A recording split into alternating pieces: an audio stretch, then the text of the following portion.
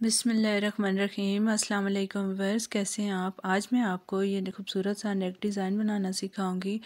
और विवर्स ये दो कलर के मैंने कपड़े लिए हैं और इनके नीचे ज़ीरो की बुकरम प्रेस करने के बाद, ये पिंक पिंक कलर के कपड़े को दोनों साइडों से फोल्ड करने के बाद, ये तकरीबन पौना इंच रेडी कर लिया मैंने।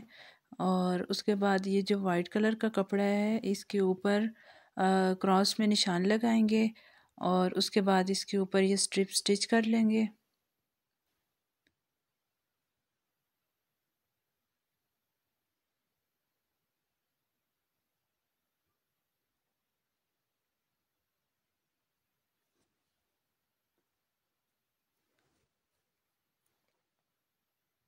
ये बीच में तकरीबन पौना पौना इंच का गैप रखेंगे। अगर आप चाहें तो इससे पतली पट्टियाँ भी रेडी कर सकते हैं और अगर इस तरह की पट्टी नहीं लगानी तो आप लेस भी लगा सकते हैं और इन पट्टियों के ऊपर ना पेंटेक्स से भी आप डिज़ाइन डाल सकते हैं।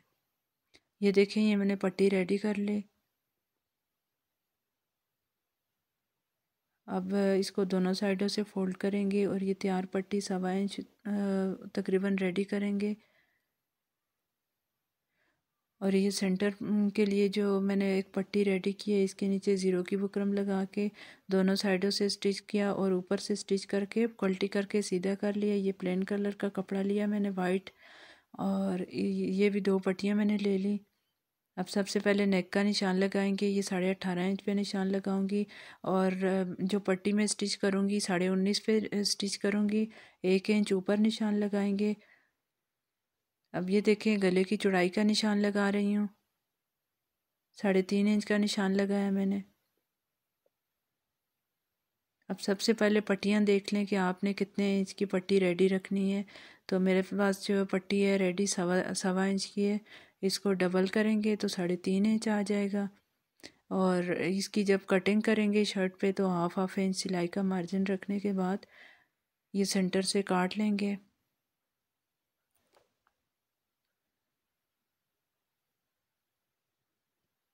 ये देखें, ये निशान लगाने के बाद पट्टी को काट लूँगी।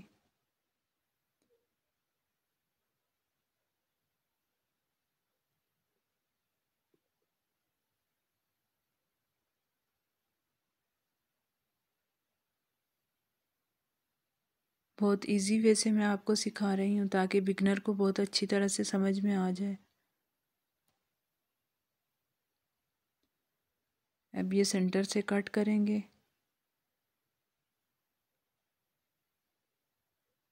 अब ये सेंटर के लिए जो मैंने स्ट्रिप रेडी की थी तो उससे चार इंच ऊपर, तकरीबन चार इंच ऊपर ये कपड़ा वाइट कलर का कपड़ा रखेंगे और ये जो पट्टी है, ये देखें वाइट कलर का जो कपड़ा है, मैं इस इस पट्टी से चार इंच ऊपर रखूँगी और ये कपड़ा नीचे इसलिए रख रही हूँ, ये देखें इस साइड पे रख के और स्टिच कर लेंगे। फिर जब पूरा स्टिच कर लेंगे तो इसको इस तरह से दूसरी साइड पे फोल्ड कर देंगे। ये देखें चार इंच ये मैंने कपड़ा, पट्टी और लेस तीनों चीज़ें ऊपर रख के ये स्टिच की हैं। आप और से देखें ताकि आपको अच्छी तरह से समझ में आए।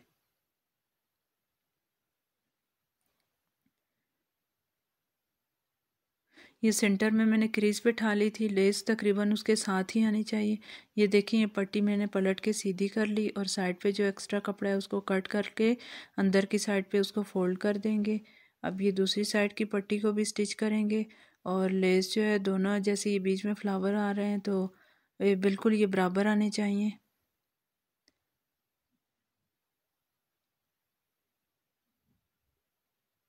अब ये देखें, ये प्रेस करके मैंने अंदर की तरफ़ फोल्ड कर लिया, ये पट्टी रेडी कर ली है मैंने। अब नेक की कटिंग करेंगे। अब साढ़े तीन इंच की चौड़ाई रखेंगे और साढ़े पाँच इंच गहराई रखेंगे क्रॉस में। ये राउंड नेक काट लेंगे और ये नेक छोटा इसलिए काटा है क्योंकि नीचे में ढाई इंच का कट भी रख रही हूँ। ऊपर से सात इंच और ये क्रॉस में साढ़े छः छः इंच रेडी आ रहा है।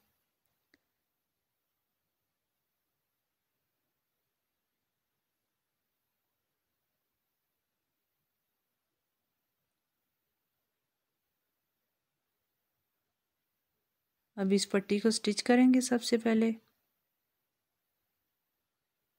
ये एक इंच ऊपर मैंने रख के कटिंग की थी, एक इंच ऊपर रख के नीचे रख के सिलाई किया है और ये साइड पे कट लगा के अब पट्टी को सीधा करेंगे। ये देखें। अब ये साइड पे जो कपड़ा है, अब इसके अंदर वो करके और इसकी स्टिचिंग कर लेंगे।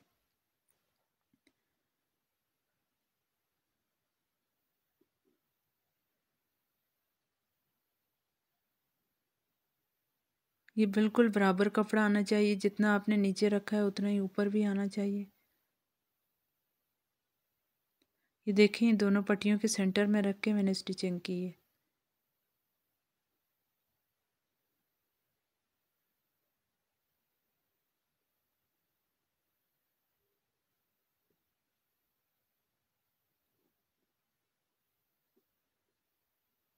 अब सेम प्रोसीजर से दूसरी पट्टी को भी स्टिच कर लेंगे।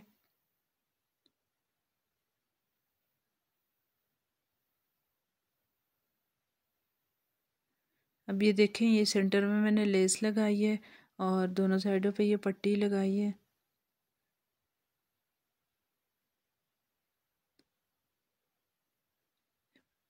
ये जो ऊपर मैंने बढ़ा के पट्टी रखी थी, वो इसलिए रखी थी क्योंकि मुझे तीन इंच का, ढाई इंच का कट रखना था। अब ये नेक इसके ऊपर रख के निशान लगा लेंगे। और एक दफ़ा इसको नाप लें। मुझे साढ़े सात इंच रेडी गला चाहिए। देखें, ये तकरीबन नीचे मुझे ढाई इंच का मैंने कट छोड़ा है और ये सेंटर से इसको नेक को मैंने काट लिया। अब इसको अच्छी तरह से पिनअप करके स्टिचिंग कर लेंगे।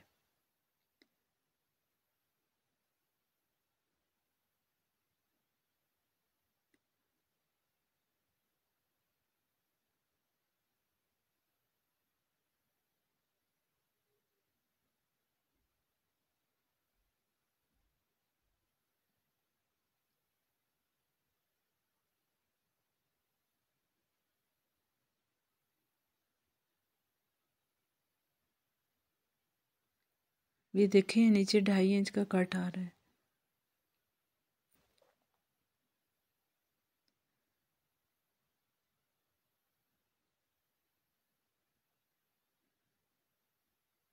अब मैंने इसको प्रेस करके तुरपाई कर ली है और ये अंदर से भी देखें कितनी फिनिशिंग से आया है। इसका कंप्लीट लुक देखें। अगर आपको मेरी वीडियो अच्छी लगे, इसको लाइक करें, शेयर करें, चैनल को सब्सक्राइब करें, बेल आइकन को प्रेस करें। और वीडियो को एंड तक वाच करें। थैंक यू जजाकल्ला